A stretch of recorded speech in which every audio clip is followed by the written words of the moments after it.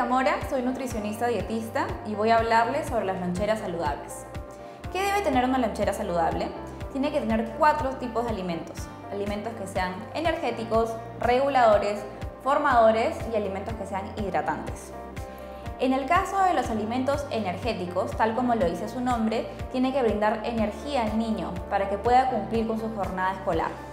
¿Qué alimentos incluyen los alimentos energéticos? Por ejemplo, los cereales deben de ser de tipo integral. Si es que enviamos pan al niño, debería ser pan integral.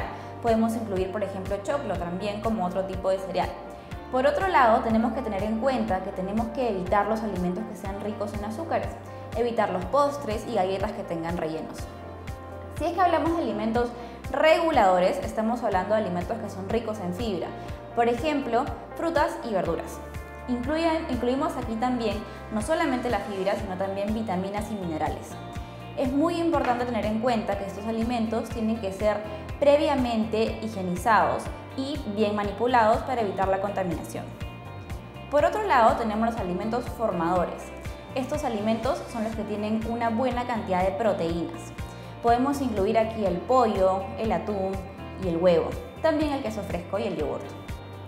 Por otro lado, alimentos que sean hidratantes o bebidas hidratantes, podemos incluir algunas hechas en casa, por ejemplo, agua pura, limonada, chicha, emoliente y tenemos que tener en cuenta que de preferencia deben de ser libres de azúcar. Tengan en cuenta estos consejos para tener una buena lonchera saludable para sus hijos.